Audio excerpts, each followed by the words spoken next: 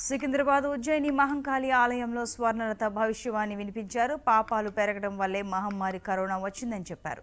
రానున్న రోజుల్లో మరింత జాగ్రత్తగా ఉండాలని హెచ్చరించారు. పూజలతో అమ్మవారికి ఎలాంటి సంతోషం లేదన్నారు. ఐదు వారాలు ప్రతి గడప నుంచి భక్తి శ్రద్ధలతో మొక్కులు చెల్లించాలన్నారు. భక్తితో కొలిస్తే నా ప్రజలను నేను తప్పకుండా కాపాడుకుంటానని అమ్మవారు భవిష్యవాణిలో వివరించారు.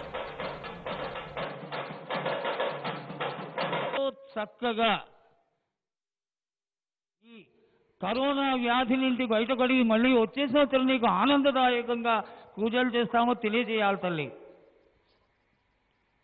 మీరందరూ భక్తి భావంతో నన్ను ప్రతి ఒక్కరూ నన్ను కలిసి ఐదు వారాలు సాకలు పోసి నాకు యజ్ఞ హోమాలు జరిపించండి.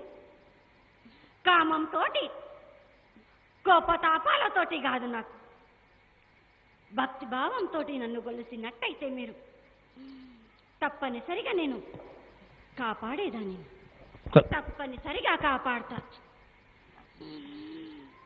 అయితే తల్లి ముఖ్యమంత్రి వర్యులు స్థానిక మంత్రివర్యులు దేవాదాయ శాఖ మంత్రివర్యులు వీళ్ళందరూ కలిసి కాళేశ్వరంలో భగీరథ ప్రయత్నంతో తెలంగాణ ప్రజలందరూ సస్యశ్యామలంగా కాడికొంటలతో వర్ధిల్లాలి అనేటువంటి చక్కటి ఉద్దేశంతో ఆనకట్టలు వేసి పూర్తి నీటిని సద్వినియోగపరిచే విధానంగా ఒక మంచి కార్యక్రమం చేస్తున్నారు.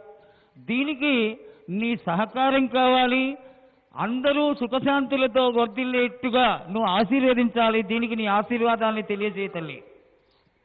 తప్పనిసరిగా గంగాదేవికి మట్టుకు యజ్ఞ హోమాలు జరిపించినట్టయితే సంతోషిస్తుంది.